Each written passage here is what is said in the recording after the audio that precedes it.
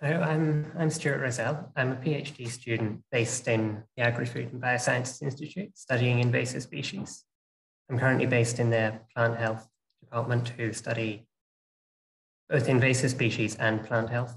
But I'm not going to present about that today. Actually, I'm presenting about some projects I was involved with before I started my PhD project, and I'm still involved with through the Wildfowl and Wetlands Trust, setting up and teaching volunteer groups to start their own wildlife surveys. I'm presenting this mainly about teaching insect identification, but really these identification skills, teaching methods apply to teaching how to survey any group of wildlife. They're very, they cross over multiple disciplines. Now, it's important to mention here that I am not a trained teacher.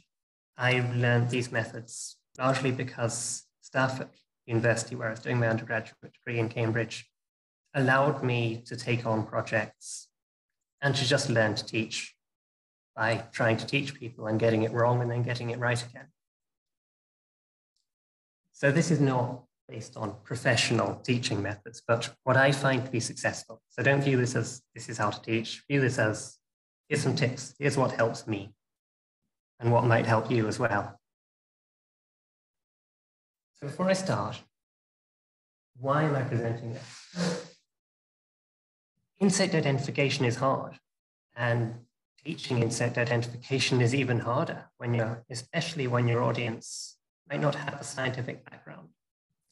This is because within species, within species groups, for example, you see the Orthosia species on the left, all closely related moths in the family Noctuidae they are really quite similar to the uneducated eye. And on the right, we have a couple of moths in other families, and the bottom one's a caterpillar. And in what aren't very distant groups, you have to look at completely different features to identify them. So that's one of the challenges teaching entomology. You have diversity between the groups you're trying to teach about and within the groups, and you need to look at detailed features and it isn't always obvious what you need to look at without having guidance. I hope this presentation is useful to experts in the audience who I want to know more about how to teach to younger audiences or less experienced people, but also people in the audience who aren't experts, who perhaps want to know how to start. Excuse the notes because I haven't practiced this very much, and it's actually quite hard to put teaching methods into a logical presentation. This is what I discovered on Monday afternoon. But some of the challenges relating to why it's hard to teach entomology also relate to how we learn entomology at university. We learn really from taxonomy, which is actually quite a complex science. And all of our identification keys are based on this. But we have to translate that into a far more understandable method of teaching identification. And taxonomy involves loads of long words and anatomy and families and things. They don't make it easy to teach for entomology to non-scientific audiences. Now, I'm saying that as a scientist, I, I get the importance of all that, but also they do make it quite hard to communicate.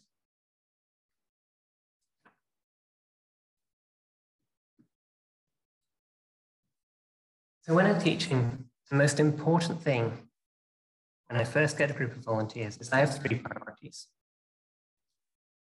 First, before I even touch the organisms I'm teaching about, I need to understand who I'm teaching from group discussion. On the right, I've got a survey group I was involved in in Cambridge University Botanic Gardens, one of the first survey groups I set up.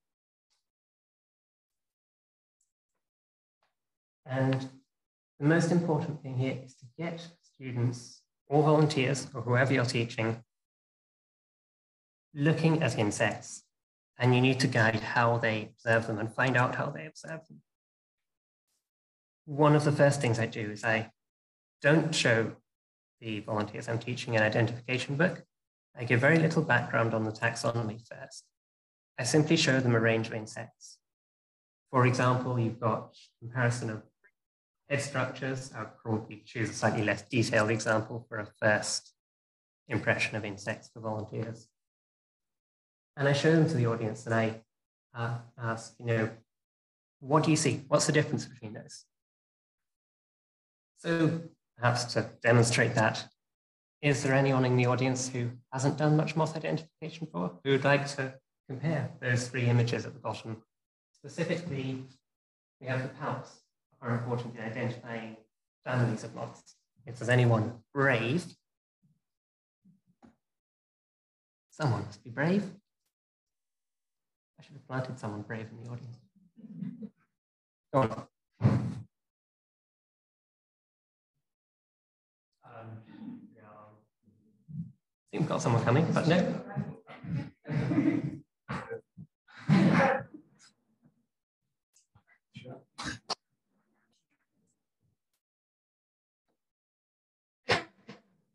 Lights in your eyes. You can sit down. So we have the palps here. The, we've got Belicides family on the right, Blastobasidae family on the left, and the Erebidae. The snout palps are in the middle. And these palps are on the front of the head. I just want you to so say, you know, what do you see? What's the differences between these two groups? Uh, color here in the middle. This one's pretty dark. This one's Yeah. pretty light. Great. So that is a difference between detailed species, but I was mentioning specifically the shape of the palps and the shape of the head here and the proportions inside of them. Can you describe here the proportions and how these differ between these three groups? Yeah, I suppose this one here at the end is a bit more of a curve. Yes, and they stick up above the height of the head. Uh, this one's a lot shorter. Yes, so if you look at Blastobasidae on the left, on the left, the palps are much less pronounced. And if you look in the middle, this is actually photographed from the top, not from the side.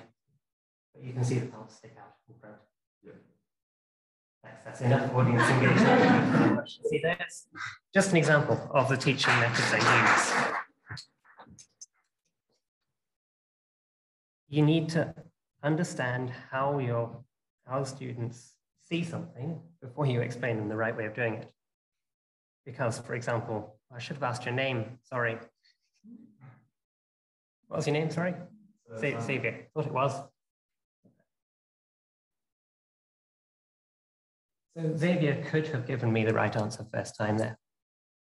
And you might ask, you know, what would I do in that case? I would actually ask him, you know, and why you say that, because it's important and to make sure that people are using the right features to identify things. One of the other priorities I teach when I first get a group of volunteers is I teach a little bit of taxonomy and just the structure of an identification book to us scientists in the audience. It probably now comes as first nature how to use an identification book that is structured by families and taxonomic groups. To volunteers, this isn't always obvious. So you do need to explain a little bit of taxonomy for that. But I do try and minimize the amount of terminology because I find that sometimes that deters people from learning entomology. I've gone on in quite a lot of detail about these first lessons, but I find it really is important to prioritize these because they give people the platform to teach each other and themselves insect identification and to communicate with experts on their own, to contact experts and ask for advice.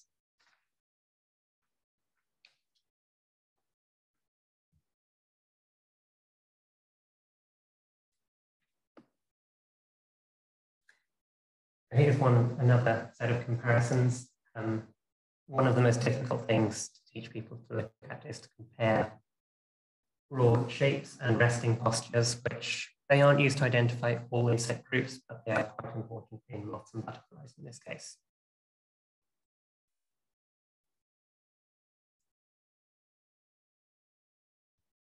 And in this case, it is really important to have comparison and a good method of visualizing insects to a large group, to a large audience. I would often use technology such as digital microscopes to show one image to groups, as I did at the start there, because it allows everyone to look at the same thing and comment on it at the same time.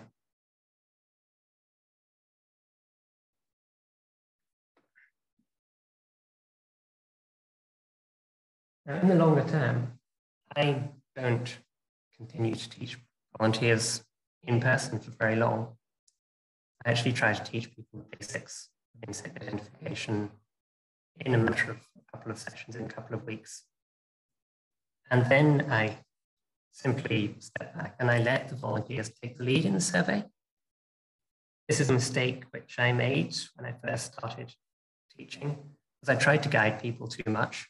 And I think a lot of experts probably do that. They, they design a really strict teaching course and they try and follow it. I try to take, try to let people I'm teaching take the lead and simply guide their discussion around comparisons. This approach does rely on having a group of volunteers and the right amount of diversity. So I would I prefer to teach actually in early spring, though there isn't a huge diversity of insects at that time of year. It means that students can gradually learn new species as they appear, rather than doing an insect survey in like June and being bombarded with several hundred species, which can be challenging and a little bit deter deterring.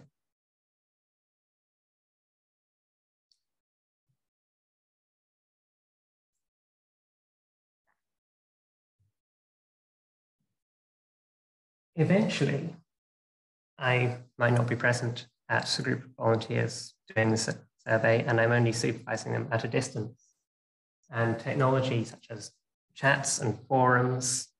For example, I use Facebook chats quite a lot so that people can send me photographs and I can comment on the identifications and just keep an eye on groups self-learning, you know, teaching each other. And I do sometimes highlight particularly unusual finds to volunteer groups so that they know to look out for them. For example, the moth on the top left there, Aproerema and Philadella, long name. It is a little bit challenging, and I probably wouldn't highlight it as, as something for new entomologists to look out for, but as the group develops and learn more skills, I judge, you know, when when they when it would be appropriate to introduce them to these more challenging groups to look out for. And often I'm teaching a group who are perhaps carrying out a survey which is important for a conservation body. For example, I volunteer with the Wildfowl and Wetlands Trust at the moment. So to link the survey group in with the priorities of the conservation body,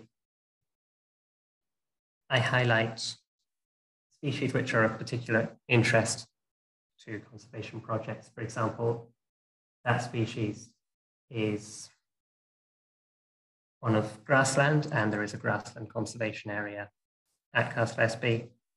I also highlight a lot of wetland species to the group because they are our survey priorities.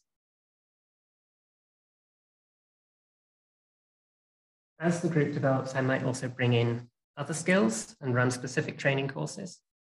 But at this stage, it's really dependent on, on what the group wants. And the course as such I use to teach every volunteer group is not strictly defined. For example, some, some groups will show an interest in things like dissection. So I would run a dissection course. Other groups really wouldn't. Um, others might show more of an interest in looking for field signs or caterpillars, such as the leaf miners. Got the Phyllonorycter leaf miner there at the bottom, which Phyllonorycter is a big genus and if people are keen to identify it, I'm really keen to teach people how to identify them and survey them because I know that they won't be able to identify these as adults in the light trapping methods, which I first teach volunteers. I also try to make use of seasons when I'm teaching. Um, as I mentioned, starting early in spring, so people aren't bombarded with a huge amount of diversity. And in the off season, in winter, I would approach museums and collections and give people tours of insect collections. This can be quite useful for species which are rarer, which might be of conservation priority, because I know that if I run a course, I can't promise to show someone a live example of these. So being able to visit a collection and show them, here's a rare species you might see. If you get one, please send me a photograph or we might miss this record. That is the difference between a data point and not having a data point.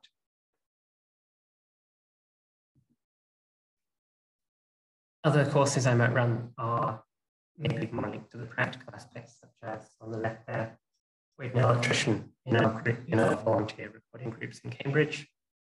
So we ran a course on building a light trap. You know, it's making use of the skills you have and the people that you're teaching as well. And at a later stage, I always try to involve people in the data, how we summarize it and record it. A lot of people might shy away from involving volunteers in data processing. I take the opposite approach that I try to make sure volunteers understand why we're doing the survey and how the data is processed, because it means that they'll understand a lot more of the importance of recording details such as location and abundance accurately, and where mistakes can be made and the consequences of those mistakes.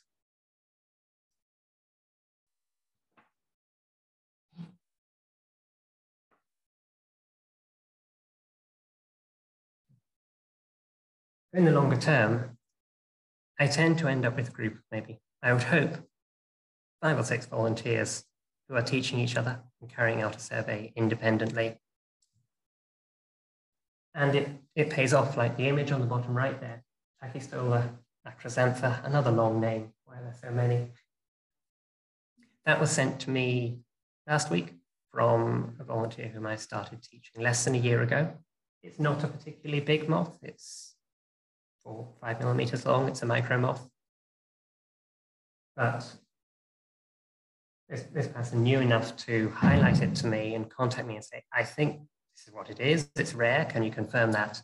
And this just just show you know that if you teach people the skills to learn and teach these in the right way, you can teach people detailed identification in quite a short time and get valuable records. That there's the fourth Irish record from a volunteer recorder who's only been identifying moths for really seriously for less than a year.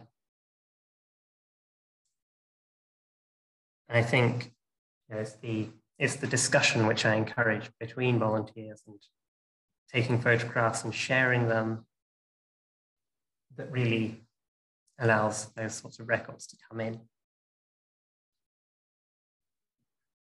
Just to end on picture of one of Castle Espie's really nice habitats in salt marsh. I always try to remember try to keep a focus on what's the end result. Because a lot, a lot of times, if, when people do outreach entomology, they lose that focus on the end result. And if I'm serving, setting up a survey group, the end result is data to protect these habitats and understand.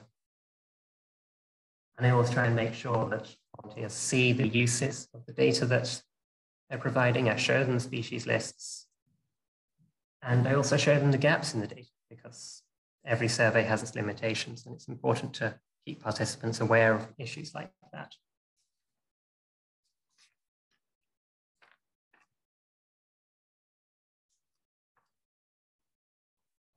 Now, there are limitations. Um, I think it's important to recognize these, that, for example, some groups can't be identified without dissection. That is challenging for volunteer led surveys because most volunteers don't have access to microscopy, maybe aren't, wouldn't be particularly skilled with microscopes, would be deterred by keys. Or there are some insect groups which would be of particularly high priority in certain conservation areas. And it's really important to get an expert in to get those identified accurately. So there are limitations to volunteer-led surveys and things where there is a place for experts as well and really focused surveys. But that said, a lot of our wildlife groups can be approached by non-scientists with the right teaching. And as a teacher, I am self-taught I'm always learning.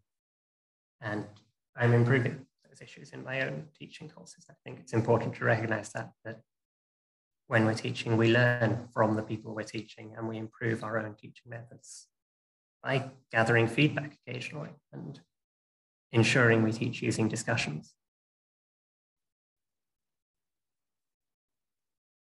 Now, when I was setting up this presentation, Josh and I briefly discussed perhaps having a forum on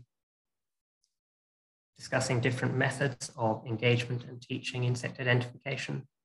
I'm just going to put that idea out there. Please contact us if you're interested because we thought it was quite a good idea, but a little bit too long for this, for this meeting. So thanks for listening.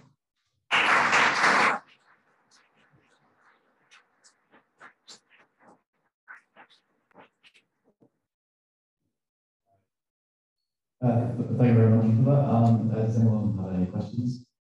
Oh.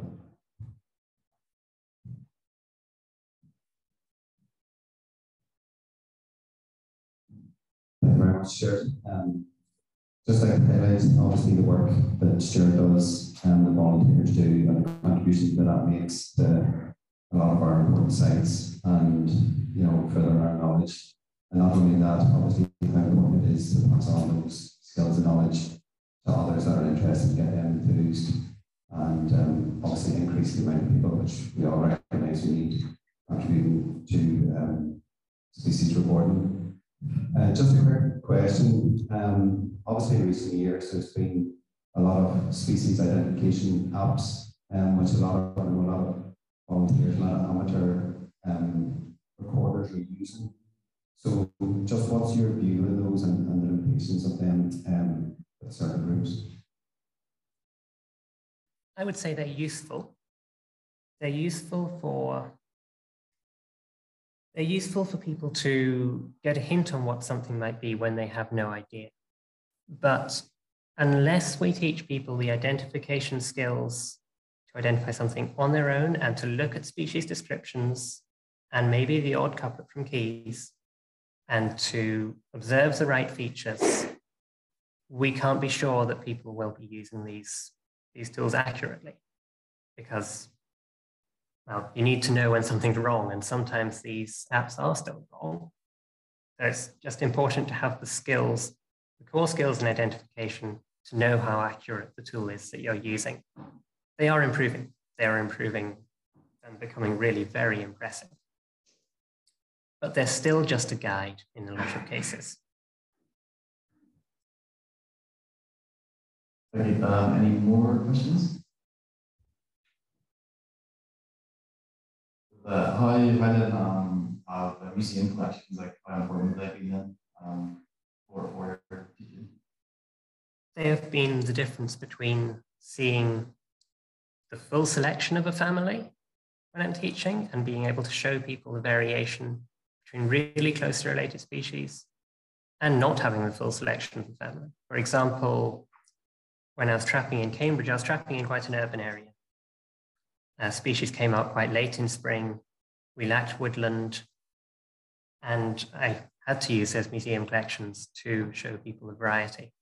And it means that you can show people the variety of organisms which are about to come out. So I could perhaps, example, I could show people species which are going to emerge in May or June, I could teach them about those now so that when the survey time comes along, those species, they're fresh in people's memory, and it just makes it easier for people to get into the identification a little bit more quickly. Thank you. Thanks. Um, so I think we'll move on into the final talk. We're going to uh, just combine the final, set, the final section there. Um, so next one is Anna.